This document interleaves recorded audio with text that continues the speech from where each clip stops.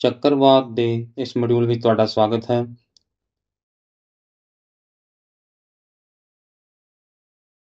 ਇਸ ਮੋਡਿਊਲ ਦੇ ਅੰਤ ਤੱਕ ਤੁਸੀਂ ਇਹ ਕਰਨ ਦੇ ਯੋਗ ਹੋ ਜਾਵੋਗੇ। ਚੱਕਰਵਾਤ ਨੂੰ ਪਰਿਭਾਸ਼ਿਤ ਕਰਨਾ, ਚੱਕਰਵਾਤ ਦੀਆਂ ਕਿਸਮਾਂ ਦੀ ਸੂਚੀ ਬਣਾਉਣਾ, ਚੱਕਰਵਾਤ ਦੇ ਕਾਰਨਾਂ ਦੀ ਵਿਆਖਿਆ ਕਰਨਾ, ਚੱਕਰਵਾਤ ਦੀਆਂ ਵਿਸ਼ੇਸ਼ਤਾਵਾਂ ਅਤੇ ਪ੍ਰਭਾਵ ਦੀ ਵਿਆਖਿਆ ਕਰਨਾ, ਲੈਂਡਫਾਲ ਦੇ ਪ੍ਰਭਾਵਾਂ ਦੀ ਵਿਆਖਿਆ ਕਰਨਾ, ਚੇਤਾਵਨੀ ਦੇ ਚਿੰਨ੍ਹ ਅਤੇ ਭਵਿੱਖਬਾਣੀਆਂ ਦੀ ਪਛਾਣ ਕਰਨਾ ਚੱਕਰਵਾਤ ਦੀ ਸਥਿਤੀ ਵਿੱਚ ਪਾਲਣ ਕੀਤੇ ਜਾਣ ਵਾਲੇ ਸੁਰੱਖਿਆ ਪ੍ਰਕਿਰਿਆਵਾਂ ਦੀ ਪਛਾਣ ਕਰਨਾ ਅਤੇ ਵਲੰਟੀਅਰਾਂ ਦੀ ਭੂਮਿਕਾ ਬਾਰੇ ਦੱਸਣਾ। ਚੱਕਰਵਾਤ ਇੱਕ ਵੱਡੇ ਪੈਮਾਨੇ ਦਾ ਹਵਾ ਦਾ ਪੁੰਜ ਹੈ, ਜੋ ਘੱਟ ਵਾਯੂਮੰਡਲ ਦੇ ਦਬਾਅ ਦੇ ਇੱਕ ਮਜ਼ਬੂਤ ਕੇਂਦਰ ਦੁਆਲੇ ਘੁੰਮਦਾ ਹੈ। ਇਹ ਤੇਜ਼ ਹਵਾਵਾਂ ਨਾਲ ਹੁੰਦੇ ਹਨ, ਜੋ ਉੱਤਰੀ ਗੋਲਸਫੈਰ ਵਿੱਚ ਘੜੀ ਦੀ ਉਲਟ ਦਿਸ਼ਾ ਵਿੱਚ ਅਤੇ ਦੱਖਣੀ ਗੋਲਸਫੈਰ ਵਿੱਚ ਘੜੀ ਦੀ ਦਿਸ਼ਾ ਵਿੱਚ ਘੁੰਮਦੀਆਂ ਹਨ। ਚੱਕਰਵਾਤ ਧਰਤੀ ਤੇ ਸਭ ਤੋਂ ਤੀਬਰ ਤੂਫਾਨ ਹੋ ਸਕਦੇ ਹਨ। ਘੁੰਮਦੀ ਹਵਾ ਉੱਪਰ ਉੱਠਦੀ ਹੈ ਅਤੇ ਠੰਡੀ ਹੁੰਦੀ ਹੈ। ਬੱਦਲ ਅਤੇ ਵਰਖਾ ਪੈਦਾ ਕਰਦੀ ਹੈ। ਇੱਕ ਐਂਟੀ ਸਾਈਕਲੋਨ ਇੱਕ ਚੱਕਰਵਾਤ ਦੇ ਉਲਟ ਹੁੰਦਾ ਹੈ। ਐਂਟੀ ਸਾਈਕਲੋਨ ਹਵਾ ਵਿੱਚ ਉੱਚ ਦਬਾਅ ਦੇ ਕੇਂਦਰ ਦੇ ਦੁਆਲੇ ਉੱਤਰੀ ਗੋਲਸਪਾਇਰ ਵਿੱਚ ਘੜੀ ਦੀ ਦਿਸ਼ਾ ਵਿੱਚ ਘੁੰਮਦੀਆਂ ਹਨ। ਹਵਾ ਉੱਪਰੋਂ ਆਉਂਦੀ ਹੈ ਅਤੇ ਜ਼ਮੀਨ ਨਾਲ ਟਕਰਾ ਜਾਂਦੀ ਹੈ। ਉੱਚ ਦਬਾਅ ਕੇਂਦਰਾਂ ਵਿੱਚ ਆਮ ਤੌਰ ਤੇ ਮੌਸਮ ਠੀਕ ਹੁੰਦਾ ਹੈ। ਚੱਕਰਵਾਤ ਨਾਲ ਸੰਬੰਧਿਤ ਸ਼ਬਦਾਂ ਵਿੱਚ ਚੱਕਰਵਾਤ ਦਾ ਕੇਂਦਰ ਅਤੇ ਫਰੰਟ ਸ਼ਾਮਲ ਹਨ। ਚੱਕਰਵਾਤ ਦਾ ਕੇਂਦਰ ਇੱਕ ਘੱਟ ਦਬਾਅ ਵਾਲਾ ਖੇਤਰ ਹੈ, ਜਿੱਥੇ ਦਬਾਅ ਨੂੰ ਇਸ ਦੇ ਆਲੇ ਦੁਆਲੇ ਦੇ ਮੁਕਾਬਲੇ ਸਭ ਤੋਂ ਘੱਟ ਮਾਪਿਆ ਗਿਆ ਹੈ। ਫਰੰਟ ਉਹ ਸੀਮਾ ਹੈ ਜਿੱਥੇ ਗਰਮ ਅਤੇ ਠੰਡੀ ਹਵਾ ਦੇ ਸਮੂਹ ਮਿਲਦੇ ਹਨ। ਇਸ ਨੂੰ ਫਰੰਟ ਕਿਹਾ ਜਾਂਦਾ ਹੈ। ਆਓ ਅੱਗੇ ਅਸੀਂ ਵੱਖ-ਵੱਖ ਕਿਸਮਾਂ ਦੇ ਚੱਕਰਵਾਤਾਂ ਬਾਰੇ ਜਾਣੀਏ। ਚੱਕਰਵਾਤ ਦੋ ਤਰ੍ਹਾਂ ਦੇ ਹੁੰਦੇ ਹਨ, ਮੱਧ ਅਕਸ਼ਾਂਸ਼ ਵਾਲੇ ਚੱਕਰਵਾਤ ਅਤੇ ਗਰਮ ਖੰਡੀ ਚੱਕਰਵਾਤ। ਹੋਰ ਜਾਣਨ ਲਈ ਹਰੇਕ ਟੈਬ ਤੇ ਕਲਿੱਕ ਕਰੋ। ਮੱਧ ਅਕਸ਼ਾਂਸ਼ ਚੱਕਰਵਾਤ। ਮੱਧ ਅਕਸ਼ਾਂਸ਼ਾਂ ਵਿੱਚ ਸਰਦੀਆਂ ਦੇ ਤੂਫਾਨਾਂ ਦਾ ਮੁੱਖ ਕਾਰਨ ਹਨ। ਇਹ ਇੱਕ ਘੱਟ ਦਬਾਅ ਕੇਂਦਰ ਅਤੇ ਵਿਭਿੰਨ ਮੌਸਮ ਦੀਆਂ ਸਥਿਤੀਆਂ ਦੇ ਨਾਲ ਮੋਰਚਿਆਂ ਦੇ ਨਾਲ ਬਣੀਆਂ ਵੱਡੀਆਂ ਮੌਸਮ ਪ੍ਰਣਾਲੀਆਂ ਹਨ। ਗਰਮ ਖੰਡੀ ਚੱਕਰਵਾਤਾਂ ਨੂੰ ਹਰੀਕੇਨ ਵੀ ਕਿਹਾ ਜਾਂਦਾ ਹੈ। ਗਰਮ ਸਮੁੰਦਰੀ ਪਾਣੀਆਂ ਉੱਤੇ ਤੇਜ਼ ਹਵਾਵਾਂ ਦੇ ਨਾਲ ਵਿਨਾਸ਼ਕਾਰੀ ਤੂਫਾਨ ਘੱਟ ਦਬਾਅ ਵਾਲੇ ਕੇਂਦਰ ਦੇ ਦੁਆਲੇ ਕੇਂਦਰਿਤ ਹੁੰਦੇ ਹਨ। ਗਰਮ ਖੰਡੀ ਚੱਕਰਵਾਤਾਂ ਦੇ ਕਈ ਨਾਮ ਹਨ। ਇਹਨਾਂ ਨੂੰ ਉੱਤਰੀ ਅਟਲਾਂਟਿਕ ਅਤੇ ਪੂਰਬੀ ਪ੍ਰਸ਼ਾਂਤ ਮਹਾਸਾਗਰ ਵਿੱਚ ਹਰੀਕੇਨ, ਪੱਛਮੀ ਪ੍ਰਸ਼ਾਂਤ ਮਹਾਸਾਗਰ ਵਿੱਚ ਟਾਈਫੂਨ, ਹਿੰਦ ਮਹਾਸਾਗਰ ਵਿੱਚ ਖੰਡੀ ਚੱਕਰਵਾਤ ਅਤੇ ਆਸਟ੍ਰੇਲੀਆ ਦੇ ਨੇੜੇ ਪਾਣੀਆਂ ਵਿੱਚ ਵਿਲੀ ਵਿਲੀਜ ਕਿਹਾ ਜਾਂਦਾ ਹੈ।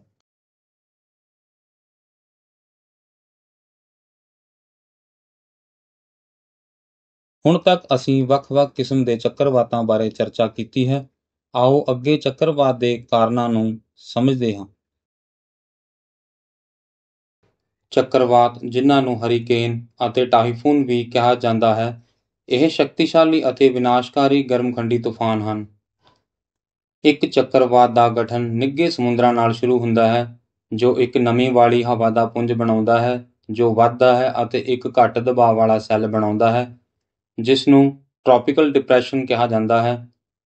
ਇਸ ਡਿਪਰੈਸ਼ਨ ਦੇ ਆਲੇ ਦੁਆਲੇ ਗਰਜਾਂ ਦਾ ਵਿਕਾਸ ਹੁੰਦਾ ਹੈ ਅਤੇ ਜੇਕਰ ਤਾਪਮਾਨ 28 ਡਿਗਰੀ ਸੈਲਸੀਅਸ ਤੋਂ ਵੱਧ ਜਾਂਦਾ ਹੈ, ਤਾਂ ਹਵਾ ਘੱਟ ਦਬਾਅ ਦੇ ਆਲੇ ਦੁਆਲੇ ਘੜੀ ਦੇ ਉਲਟ ਘੁੰਮਦੀ ਹੈ, ਪਾਣੀ ਦੀ ਵਾਸ਼ਪ ਸੰਘਣੀ ਹੋ ਜਾਂਦੀ ਹੈ, ਲੁਕੀ ਹੋਈ ਗਰਮੀ ਤੋਂ ਊਰਜਾ ਨਿਕਲਣੀ ਸ਼ੁਰੂ ਹੋ ਜਾਂਦੀ ਹੈ। ਹਰੀਕੇਨ ਵੱਡੇ ਤੂਫਾਨ ਹਨ। ਸਾਈਕਲੋਨ ਤੇਜ਼ ਰਫ਼ਤਾਰ ਵਾਲੀਆਂ ਹਵਾਵਾਂ, ਭਾਰੀ ਬਾਰਿਸ਼ ਅਤੇ ਇੱਕ ਸ਼ਕਤੀਸ਼ਾਲੀ ਬਵੰਡਰ ਹਨ। ਸਾਈਕਲੋਨ ਬਵੰਡਰ ਪੈਦਾ ਕਰ ਸਕਦਾ ਹੈ ਅਤੇ ਇੱਕ ਦਿਨ ਵਿੱਚ 800 ਕਿਲੋਮੀਟਰ ਤੱਕ ਦਾ ਸਫ਼ਰ ਤੈਅ ਕਰ ਸਕਦਾ ਹੈ।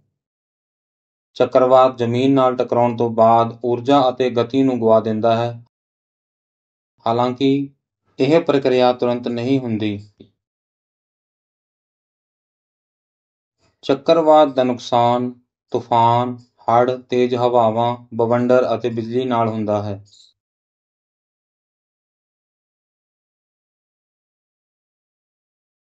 ਚੱਕਰਵਾਤ ਦੇ ਕਾਰਨਾਂ ਨਾਲ ਸੰਬੰਧਿਤ ਇਸ ਵੀਡੀਓ ਵਿੱਚ ਅਸੀਂ ਇੱਕ ਚੱਕਰਵਾਤ ਦਾ ਕੇਂਦਰ ਸਮੁੰਦਰ ਤੋਂ ਜ਼ਮੀਨ ਤੇ ਜਾਂਦਾ ਦੇਖਿਆ ਇਸ ਖਾਸ ਘਟਨਾ ਨੂੰ ਲੈਂਡਫਾਲ ਕਿਹਾ ਜਾਂਦਾ ਹੈ ਆਓ ਇਸ ਬਾਰੇ ਵਿਸਥਾਰ ਵਿੱਚ ਚਰਚਾ ਕਰੀਏ ਲੈਂਡਫਾਲ ਇੱਕ ਤਟਵਰਤੀ ਰੇਖਾ ਦੇ ਨਾਲ ਇੱਕ ਖੰਡੀ ਚੱਕਰਵਾਤ ਦੇ ਕੇਂਦਰ ਦਾ ਲਾਂਘਾ ਹੈ। ਦੂਜੇ ਸ਼ਬਦਾਂ ਵਿੱਚ ਲੈਂਡਫਾਲ ਉਦੋਂ ਹੁੰਦਾ ਹੈ ਜਦੋਂ ਚੱਕਰਵਾਤ ਦਾ ਕੇਂਦਰ ਪਾਣੀ ਤੋਂ ਹੋਣ ਤੋਂ ਬਾਅਦ ਜ਼ਮੀਨ 'ਤੇ ਚਲਾ ਜਾਂਦਾ ਹੈ। ਇਸ ਦਾ ਮਤਲਬ ਇਹ ਨਹੀਂ ਹੈ ਕਿ ਚੱਕਰਵਾਤ ਜ਼ਮੀਨ 'ਤੇ ਟਕਰਾਇਆ ਹੈ ਜਾਂ ਆ ਗਿਆ ਹੈ। ਚੱਕਰਵਾਤ ਲੈਂਡਫਾਲ ਤੋਂ ਕੁਝ ਘੰਟੇ ਪਹਿਲਾਂ ਪਹੁੰਚਦਾ ਹੈ, ਬਾਰਿਸ਼ ਅਤੇ ਧੂੜ ਦੇ ਤੂਫਾਨ ਲਿਆਉਂਦਾ ਹੈ। ਲੈਂਡਫਾਲ ਅਕਸਰ ਤੇਜ਼ ਹਵਾਵਾਂ, ਤੇਜ਼ ਬਾਰਿਸ਼ ਸਮੁੰਦਰ ਦੇ ਪੱਧਰ ਨੂੰ ਵਧਾਉਣ ਦਾ ਕਾਰਨ ਬਣਦਾ ਹੈ। ਇਹ ਆਲੇ-ਦੁਆਲੇ ਦੇ ਖੇਤਰਾਂ ਵਿੱਚ ਰਹਿਣ ਵਾਲੇ ਲੋਕਾਂ ਲਈ ਖਤਰਾ ਬਣ ਸਕਦੇ ਹਨ। ਤੂਫਾਨ ਜਾਂ ਚੱਕਰਵਾਤ ਜ਼ਮੀਨ ਨਾਲ ਟਕਰਾਉਣ ਤੋਂ ਬਾਅਦ ਆਪਣੀ ਊਰਜਾ ਅਤੇ ਗਤੀ ਨੂੰ ਗਵਾਉਣਾ ਸ਼ੁਰੂ ਕਰ ਸਕਦੇ ਹਨ। ਇਹ ਇਸ ਲਈ ਹੁੰਦਾ ਹੈ ਕਿ ਉਨ੍ਹਾਂ ਨੂੰ ਗਰਮ ਸਮੁੰਦਰ ਦੇ ਪਾਣੀ ਤੋਂ ਊਰਜਾ ਨਹੀਂ ਮਿਲਦੀ, ਹਾਲਾਂਕਿ ਇਹ ਬਹੁਤ ਜਲਦੀ ਨਹੀਂ ਹੁੰਦਾ। ਅਸੀਂ ਦੇਖਿਆ ਹੈ ਕਿ ਕਿਸ ਤਰ੍ਹਾਂ ਚੱਕਰਵਾਤ ਵਿਨਾਸ਼ਕਾਰੀ ਹੋ ਸਕਦੇ ਹਨ ਅਤੇ ਸੰਪਤੀ ਅਤੇ ਮਨੁੱਖੀ ਜਾਨਾਂ ਨੂੰ ਨੁਕਸਾਨ ਪਹੁੰਚਾ ਸਕਦੇ ਹਨ। ਸਮੇਂ ਸਿਰ ਚੇਤਾਵਨੀ ਪ੍ਰਭਾਵਿਤ ਖੇਤਰਾਂ ਵਿੱਚ ਲੋੜੀਂਦੀ ਸਾਵਧਾਨੀ ਵਰਤਣ ਅਤੇ ਸੱਟਾਂ ਲੱਗਣਾ ਜਾਂ ਜਾਨੀ ਨੁਕਸਾਨ ਦੇ ਜੋਖਮ ਨੂੰ ਘਟਾਉਣ ਵਿੱਚ ਮਦਦ ਕਰਦੀ ਹੈ। ਆਓ ਅੱਗੇ ਚੇਤਾਵਨੀ ਦੇ ਵੱਖ-ਵੱਖ ਪੜਾਵਾਂ ਨੂੰ ਸਮਝੀਏ।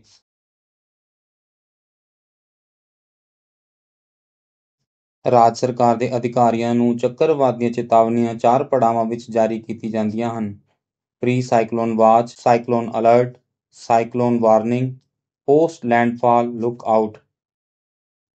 ਹੋਰ ਜਾਣਨ ਲਈ ਪੁਆਇੰਟਰ ਨੂੰ ਹਰ ਪੜਾਅ 'ਤੇ ਕਲਿੱਕ ਕਰੋ। ਚੱਕਰਵਾਤ ਤੋਂ ਪਹਿਲਾਂ ਦੀ ਨਿਗਰਾਨੀ ਬਹੱਤਰ ਘੰਟੇ ਪਹਿਲਾਂ ਜਾਰੀ ਕੀਤੀ ਜਾਂਦੀ ਹੈ। ਇਸ ਵਿੱਚ ਹਿੰਦ ਮਹਾਸਾਗਰ ਜਾਂ ਅਰਬ ਸਾਗਰ ਵਿੱਚ ਚੱਕਰਵਾਤੀ ਗੜਬੜੀ ਦੇ ਵਿਕਾਸ ਬਾਰੇ ਸ਼ੁਰੂਆਤੀ ਚੇਤਾਵਨੀ ਹੁੰਦੀ ਹੈ। ਚੱਕਰਵਾਤੀ ਗੜਬੜ ਇੱਕ ਗਰਮ ਤੂਫਾਨ ਵਿੱਚ ਬਦਲ ਜਾਂਦੀ ਹੈ। ਤਟਵਰਤੀ ਪੱਟੀ ਵਾਲੇ ਖੇਤਰਾਂ ਵਿੱਚ ਖਰਾਬ ਮੌਸਮ ਦੇ ਸੰਕੇਤ ਆਉਂਦੇ ਹਨ। ਇਹ ਸ਼ੁਰੂਆਤੀ ਚੇਤਾਵਨੀ ਬੁਲੇਟਿਨ ਭਾਰਤ ਦੇ ਮੌਸਮ ਵਿਭਾਗ ਜਾਂ ਆਈ ਐਮ ਡੀ ਦੁਆਰਾ ਜਾਰੀ ਕੀਤਾ ਜਾਂਦਾ ਹੈ ਅਤੇ ਭਾਰਤ ਸਰਕਾਰ ਦੇ ਸੀਨੀਅਰ ਅਧਿਕਾਰੀਆਂ ਅਤੇ ਸਮੁੰਦਰੀ ਵਿਭਾਗ ਦੇ ਮੁੱਖ ਸਕੱਤਰਾਂ ਨੂੰ ਸੰਬੋਧਿਤ ਕੀਤਾ ਜਾਂਦਾ ਹੈ।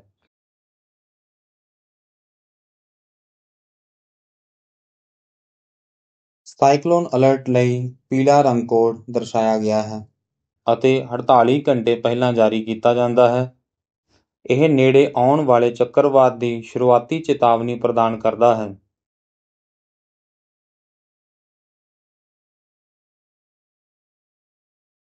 ਸਾਈਕਲੋਨ ਚੇਤਾਵਨੀ ਲਈ ਰੰਗ ਕੋਡ ਸੰਤਰੀ ਹੈ। ਇਹ ਚੌਵੀ ਘੰਟੇ ਪਹਿਲਾਂ ਜਾਰੀ ਕੀਤਾ ਜਾਂਦਾ ਹੈ। ਇਹ ਚੱਕਰਵਾਤ ਦੀ ਸਥਿਤੀ, ਤੀਬਰਤਾ, ਲੈਂਡਫਾਲ, ਵਾਧੇ ਦੀ ਉਚਾਈ, ਨੁਕਸਾਨ ਅਤੇ ਸੁਝਾਈਆਂ ਗਈਆਂ ਕਾਰਵਾਈਆਂ ਨੂੰ ਦਰਸਾਉਂਦਾ ਹੈ।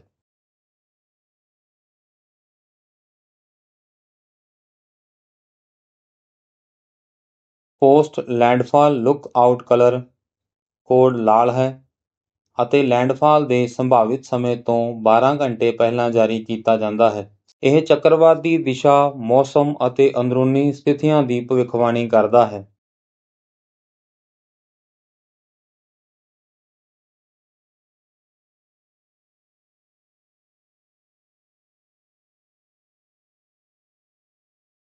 ਹੁਣ ਤੱਕ ਤੁਸੀਂ ਚੱਕਰਵਾਤ ਦੀਆਂ ਕਿਸਮਾਂ, ਇਸਦੇ ਕਾਰਨਾਂ ਅਤੇ ਚਾਰ ਪੜਾਅ ਦੀ ਚੇਤਾਵਨੀ ਬਾਰੇ ਸਿੱਖਿਆ ਹੈ। ਹੁਣ ਆਓ ਵਿਸ਼ੇ ਦੀ ਤੁਹਾਡੀ ਸਮਝ ਦੀ ਜਾਂਚ ਕਰਨ ਲਈ ਇੱਕ ਗਤੀਵਿਧੀ ਕਰੀਏ।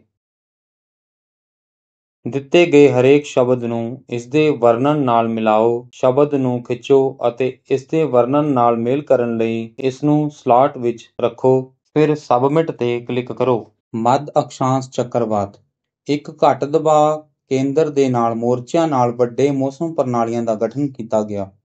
ਲੈਂਡਫਾਲ ਤਟਵਰਤੀ ਰੇਖਾ ਨਾਲ ਇੱਕ ਖੰਡੀ ਚੱਕਰਵਾਤ ਦੇ ਕੇਂਦਰ ਦਾ ਇੰਟਰਸੈਕਸ਼ਨ। ਚੱਕਰਵਾਤ ਚੇਤਾਵਨੀ ਨੇੜੇ ਆਉਣ ਵਾਲੇ ਸ਼ੁਰੂਆਤ ਦੀ ਸ਼ੁਰੂਆਤੀ ਚੇਤਾਵਨੀ ਪ੍ਰਦਾਨ ਕਰਦਾ ਹੈ। ਐਂਟੀ-ਸਾਈਕਲੋਨ ਹਵਾ ਉੱਪਰੋਂ ਆਉਂਦੀ ਹੈ ਅਤੇ ਜ਼ਮੀਨ 'ਤੇ ਟਕਰਾ ਜਾਂਦੀ ਹੈ। ਚੱਕਰਵਾਤ ਘੁੰਮਦੀ ਹਵਾ ਉੱਪਰ ਉੱਠਦੀ ਹੈ ਅਤੇ ਠੰਡੀ ਹੁੰਦੀ ਹੈ, ਬੱਦਲ ਅਤੇ ਵਰਖਾ ਪੈਦਾ ਕਰਦੀ ਹੈ।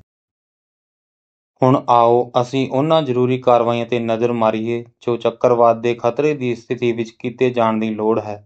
ਅਜਿਹੀਆਂ ਕਾਰਵਾਈਆਂ ਕਰਨ ਦੀ ਲੋੜ ਹੈ। ਉਹਨਾਂ ਨੂੰ ਮੋਟੇ ਤੌਰ 'ਤੇ ਚਾਰ ਪੜਾਵਾਂ ਵਿੱਚ ਵੰਡਿਆ ਗਿਆ ਹੈ। ਇਹਨਾਂ ਵਿੱਚ ਸ਼ਾਮਲ ਹਨ: ਕਾਰਵਾਈਆਂ ਚੱਕਰਵਾਤ ਸੀਜ਼ਨ ਤੋਂ ਤੁਰੰਤ ਪਹਿਲਾਂ ਕਾਰਵਾਈਆਂ ਜਦੋਂ ਚੱਕਰਵਾਤ ਚੇਤਾਵਨੀਆਂ ਅਤੇ ਚੇਤਾਵਨੀਆਂ ਨੂੰ ਸੰਚਾਰਿਤ ਕੀਤਾ ਜਾਂਦਾ ਹੈ। ਕਾਰਵਾਈਆਂ ਜਦੋਂ ਨਿਕਾਸੀ ਦਾ ਆਦੇਸ਼ ਦਿੱਤਾ ਜਾਂਦਾ ਹੈ ਅਤੇ ਚੱਕਰਵਾਤ ਤੋਂ ਬਾਅਦ ਚੁੱਕੇ ਜਾਣ ਵਾਲੇ ਉਪਾਅ ਹੋਰ ਜਾਣਨ ਲਈ ਹਰੇਕ ਪੜਾਅ ਤੇ ਕਲਿੱਕ ਕਰੋ। ਚੱਕਰਵਾਤ ਦੇ ਆਉਣ ਤੋਂ ਪਹਿਲਾਂ ਇਹਨਾਂ ਦਿਸ਼ਾ ਨਿਰਦੇਸ਼ਾਂ ਦੀ ਪਾਲਣਾ ਕਰੋ, ਘਰ ਦੀ ਜਾਂਚ ਕਰੋ, ਢਿੱਲੀ ਟਾਈਲਾਂ ਨੂੰ ਸੁਰੱਖਿਅਤ ਕਰੋ ਅਤੇ ਦਰਵਾਜ਼ਿਆਂ ਅਤੇ ਖਿੜਕੀਆਂ ਦੀ ਮੁਰੰਮਤ ਕਰੋ। ਘਰ ਦੇ ਨੇੜੇ ਸੁੱਕੀਆਂ ਹੋਈਆਂ ਟਾਹਣੀਆਂ ਜਾਂ ਸੁੱਕ ਰਹੇ ਰੁੱਖਾਂ ਨੂੰ ਹਟਾਓ। ਹਟਾਉਣਯੋਗ ਵਸਤੂਆਂ ਜਿਵੇਂ ਕਿ ਲੱਕੜ ਦੇ ਢੇਰ, ਢਿੱਲੀ ਟੀਨ ਦੀਆਂ ਚਾਦਰਾਂ, ਢਿੱਲੀਆਂ ਇੱਟਾਂ, ਕੂੜੇ ਦੇ ਡੱਬੇ, ਸਾਈਨ ਬੋਰਡ ਅਤੇ ਹੋਰ ਜੋ ਤੇਜ਼ ਹਵਾ ਵਿੱਚ ਉੱਡ ਸਕਦੇ ਹਨ ਅਤੇ ਢਹਿ ਢੇਰੀ ਇਮਾਰਤਾਂ। ਕੁਝ ਲੱਕੜ ਦੇ ਬੋਰਡ ਤਿਆਰ ਰੱਖੋ ਤਾਂ ਜੋ ਸ਼ੀਸ਼ੇ ਦੀਆਂ ਖਿੜਕੀਆਂ ਨੂੰ ਢੱਕਿਆ ਜਾ ਸਕੇ, ਜੇ ਲੋੜ ਹੋਵੇ। ਮਿੱਟੀ ਦੇ ਤੇਲ ਨਾਲ ਭਰੀ ਇੱਕ ਲਾਲਟੇਨ, ਬੈਟਰੀ ਨਾਲ ਚੱਲਣ ਵਾਲੀਆਂ ਟਾਰਚਾਂ ਅਤੇ ਕਾਫੀ ਸੁੱਕੇ ਸੈੱਲ ਰੱਖੋ।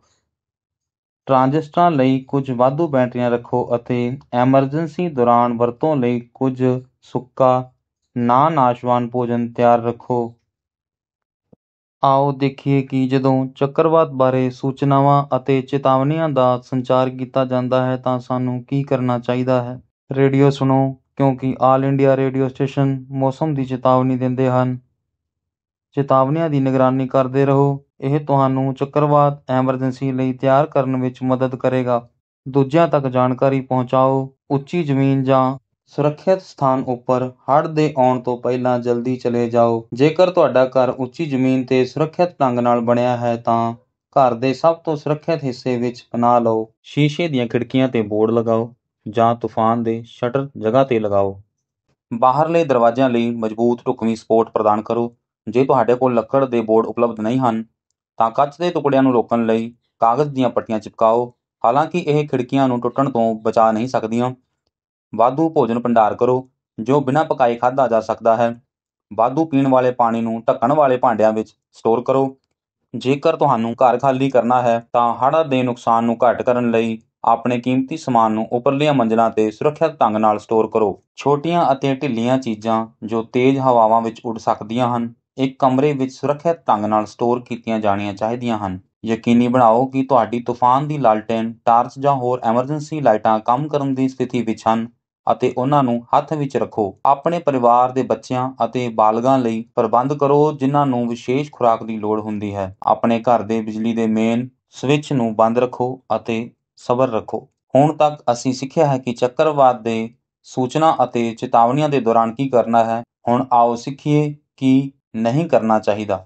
ਅਫਵਾਹਾਂ ਨਾ ਫੈਲਾਓ। ਇਹ ਦਹਿਸ਼ਤ ਦੀਆਂ ਸਥਿਤੀਆਂ ਤੋਂ ਬਚਣ ਵਿੱਚ ਮਦਦ ਕਰੇਗੀ। ਸਿਰਫ ਅਧਿਕਾਰਿਤ ਜਾਣਕਾਰੀ ਤੇ ਵਿਸ਼ਵਾਸ ਕਰੋ। ਜਦੋਂ ਤੁਹਾਡਾ ਖੇਤਰ ਚੱਕਰਵਾਤ ਦੀ ਚੇਤਾਵਨੀ ਦੇ ਅਧੀਨ ਹੋਵੇ, ਤਾਂ ਨੀਵੇਂ ਸਮੁੰਦਰੀ ਤੱਟਾਂ ਜਾਂ ਤੱਟ ਦੇ ਨੇੜੇ ਹੋਰ ਨੀਵੇਂ ਖੇਤਰਾਂ ਦੇ ਨੇੜੇ ਨਾ ਜਾਓ। ਦੇਰੀ ਨਾ ਕਰੋ ਅਤੇ ਆਪਣੇ ਇਕੱਲੇ ਫਸਣ ਦੀ ਸੰਭਾਵਨਾ ਤੋਂ ਬਚੋ। ਜੇਕਰ ਖਾਲੀ ਕਰਨ ਲਈ ਕਿਹਾ ਹੋਵੇ, ਤਾਂ ਆਪਣਾ ਘਰ ਛੱਡਣ ਤੋਂ ਸੰਕੋਚ ਨਾ ਕਰੋ। ਹਵਾ ਦੀ ਦਿਸ਼ਾ ਵੱਲ ਮੂੰਹ ਕਰਕੇ ਖਿੜਕੀਆਂ ਅਤੇ ਦਰਵਾਜ਼ੇ ਖੋਲ੍ਹਣ ਤੋਂ ਬਚੋ। ਜੇ ਚੱਕਰਵਾਤ ਦਾ ਕੇਂਦਰ ਸਿੱਧਾ ਤੁਹਾਡੇ ਘਰ ਦੇ ਉੱਪਰੋਂ ਲੰਘ ਰਿਹਾ ਹੈ, ਤਾਂ ਅੱਧੇ ਘੰਟੇ ਜਾਂ ਇਸ ਤੋਂ ਵੱਧ ਸਮੇਂ ਤੱਕ ਹਵਾ ਅਤੇ ਬਾਰਿਸ਼ ਹੌਲੀ ਰਹੇਗੀ। ਇਸ ਸਮੇਂ ਦੌਰਾਨ ਬਾਹਰ ਨਾ ਨਿਕਲੋ। ਇਹ ਇਸ ਲਈ ਹੈ ਕਿਉਂਕਿ ਸ਼ਾਂਤ ਹੋਣ ਤੋਂ ਤੁਰੰਤ ਬਾਅਦ ਤੂਫਾਨ ਮੁੜ ਸ਼ੁਰੂ ਹੋ ਜਾਵੇਗਾ।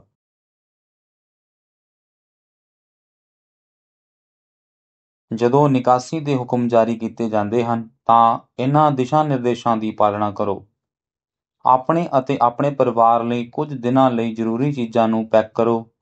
ਇਹਨਾਂ ਵਿੱਚ ਦਵਾਈਆਂ, ਬੱਚਿਆਂ ਅਤੇ ਬਜ਼ੁਰਗਾਂ ਲਈ ਵਿਸ਼ੇਸ਼ ਭੋਜਨ ਸ਼ਾਮਲ ਹੋਣਾ ਚਾਹੀਦਾ ਹੈ। ਆਪਣੇ ਖੇਤਰ ਲਈ ਦਰਸਾਏ ਉਚਿਤ ਸ਼ੈਲਟਰ ਜਾਂ ਨਿਕਾਸੀ ਬਿੰਦੂਆਂ ਤੇ ਜਾਓ। ਨਿਕਾਸੀ ਦੇ ਦੌਰਾਨ ਆਪਣੀ ਜਾਇਦਾਦ ਬਾਰੇ ਚਿੰਤਾ ਨਾ ਕਰੋ। ਸੁਰੱਖਿਅਤ ਸਥਾਨਾਂ ਤੇ ਪਹੁੰਚਣ ਤੇ ਉਸ ਸਥਾਨ ਦੇ ਇੰਚਾਰਜ ਅਧਿਕਾਰੀ ਦੀਆਂ ਹਦਾਇਤਾਂ ਦੀ ਪਾਲਣਾ ਕਰੋ।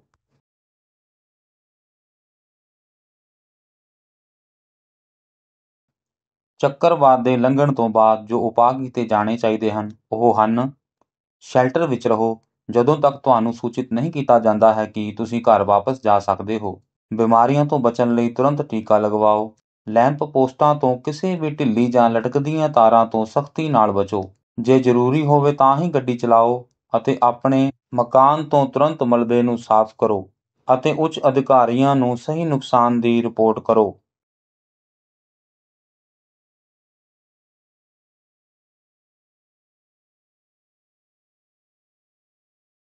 ਹੁਣ ਆਓ ਇੱਕ ਚੱਕਰਵਾਰ ਘਟਨਾ ਵਿੱਚ ਵਲੰਟੀਅਰਾਂ ਦੀ ਭੂਮਿਕਾ ਵੱਲ ਧਿਆਨ ਦਈਏ।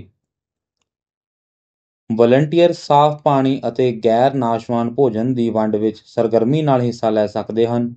ਵਲੰਟੀਅਰ ਘਰਾਂ ਤੋਂ ਚਿੱਕੜ ਨੂੰ ਸਾਫ਼ ਕਰਨ ਅਤੇ ਢਹਿ ਢੇਰੀ ਘਰਾਂ ਅਤੇ ਦੁਕਾਨਾਂ ਨੂੰ ਸਾਫ਼ ਕਰਨ ਵਿੱਚ ਮਦਦ ਕਰ ਸਕਦੇ ਹਨ। ਉਹ ਸਾਈਟ ਤੇ ਡਿੱਗੇ ਦਰਖਤਾਂ ਅਤੇ ਹੋਰ ਮਲਬੇ ਨੂੰ ਹਟਾਉਣ ਵਿੱਚ ਮਦਦ ਕਰ ਸਕਦੇ ਹਨ। ਵਲੰਟੀਅਰ ਬੁਨਿਆਦੀ ਸਹੂਲਤਾਂ ਦੀ ਬਹਾਲੀ ਵਿੱਚ ਸਰਕਾਰੀ ਵਿਭਾਗਾਂ ਦਾ ਸਮਰਥਨ ਕਰ ਸਕਦੇ ਹਨ ਅਤੇ ਰਾਹਤ ਕੈਂਪ ਪ੍ਰਬੰਧਨ ਵਿੱਚ ਸਰਗਰਮੀ ਨਾਲ ਹਿੱਸਾ ਲੈ ਸਕਦੇ ਹਨ।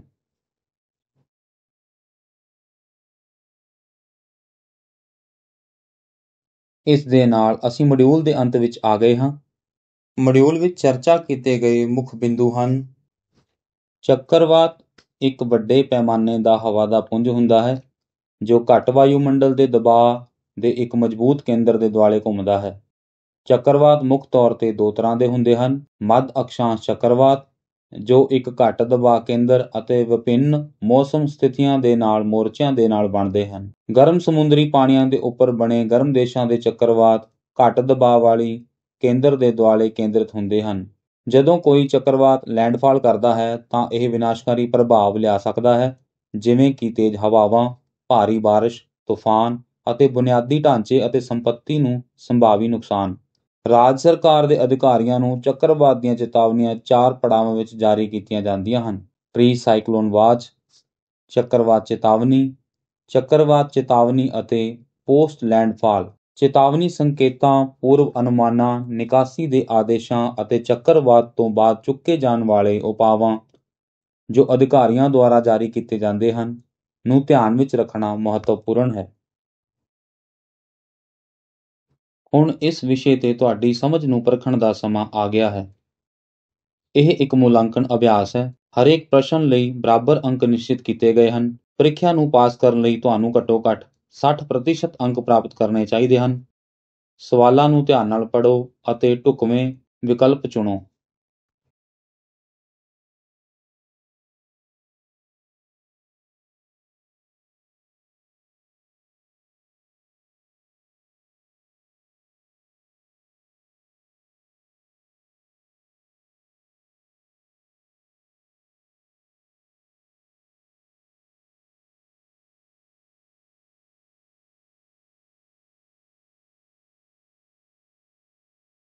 不打鸟。